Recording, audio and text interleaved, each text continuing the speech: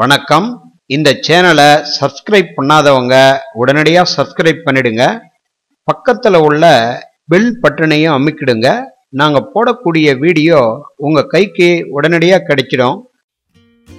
இப்போ நாம் வெள்ளருகு என்கின்ற ஒரு மூலிகையை பற்றி பார்க்க போகிறோம் இம்மூலிகையானது தமிழகம் முழுவதும் பரவலாக காணப்படுகிறது. இது கரிசல் மண் பூமியிலும் தரிசு நிலங்களிலும் மலை சார்ந்த பகுதியிலும் தானே வளரக்கூடிய திரு செடியினமாகும். இதுல சிற்றருகு பேரருகு புல்லருகு என்று அநேக வகைகள் உண்டு. இதன் உயரம் அரை அடிக்கு மேலும் வளரக்கூடியது. இதன் இலைகள் மெல்லிய நீண்ட இலைகளாக சாம்பல் பூத்தது போன்று எதிரடுக்கு வரிசையில் அமைந்திருக்கும். இதன் வெண்மையான பூக்கள் தண்டு கணுவுகளில் சுற்றடுக்கு வரிசையில் சிறிய பூக்களாக அமைந்திருக்கும். இதன் சிறிய வடிவிலான காய்கள் முற்றி விதைகள் மூலம் இன உற்பத்தி ஆகிறது. இதனுடைய சமூலம் முழுவதும் மருந்தாக பயன்படுகிறது. இது ராகு பகவானுக்கு உகந்த மூலிகையாக கருதப்படுகிறது. இதற்கு மாற்று பெயராக அருகுமூலி தகுலாட்சம் பதவீரியம் சுவேதகந்தம் திட்டருகு பார்கவி வல்லாரி வெண்ணருகு என்றும் இன்னும் இதற்கு அநேக பெயர்களும் உண்டு.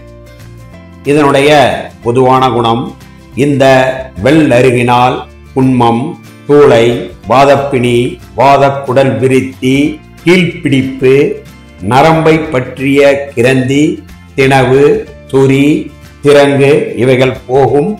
மேலும் திரு பாம்புகளின் நெஞ்சை முறிக்கும். இத வைத்தியத்துல எப்படி பயன்படுத்துறாங்க என்பதை பத்தி விளக்கமாக பார்க்கலாம்.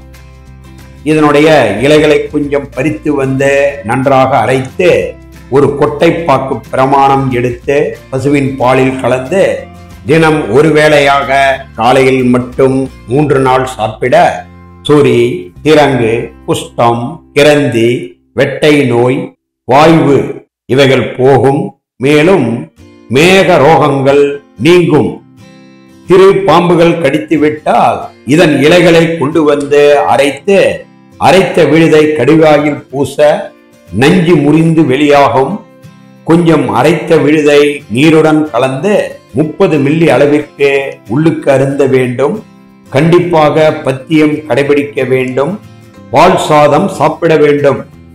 நாள்பட்ட சொறி சிறங்குகளுக்கு இதன் இலையுடன் புளித்த மோர் விட்டரைத்து பூசி வர குணம் உண்டாகும். மேலும் இதன் முழு செடியையும் கொண்டு வந்து அதனுடன் சிறிது மிளகு இரண்டு பல் பூண்டு சேர்த்து அரைத்து பாலுடன் கலந்து கொடுக்க ஆண்கள் மற்றும் பெண்களுக்கு பிறப்பு உறுப்புகளில் ஏற்படுகின்ற கீழ்பிடித்த ரணங்களும் புண்களும் குணமாகும்.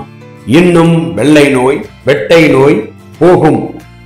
பெண்களுக்கு ஏற்படுகின்ற மலட்டுத்தன்மை நீங்க இந்த வெள்ளருகு இலைகளை பறித்து வந்து பட்டு போல் அரைத்து ஒரு நெல்லிக்காய் பிரமாணம் எடுத்து மாத விளக்கான மூன்றாம் நாள் அல்லது ஐந்தாம் நாள் மோருடன் கலந்து காலையில் மட்டும் மூன்று நாள் குடித்து வர மலட்டுத்தன்மை நீங்கி குழந்தை பாக்கியம் உண்டாகும். சித்த மருந்து கடைகளில் விற்கும் மேகநாத தைலம் வாதச்சுர குடிநீர் போன்ற மருந்துகளில் வெள்ளருக்கு மூலிகையானது அதிகம் சேர்க்கப்படுகிறது.